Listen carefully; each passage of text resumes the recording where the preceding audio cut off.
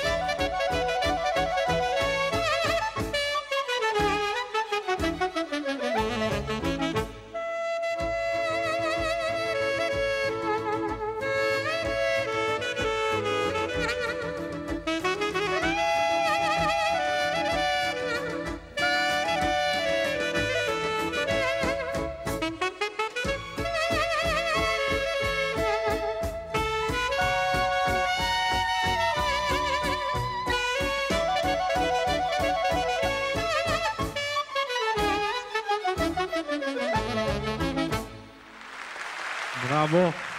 Silvano Silvagni. Complimenti maestro. Tramonto, grazie. Beh,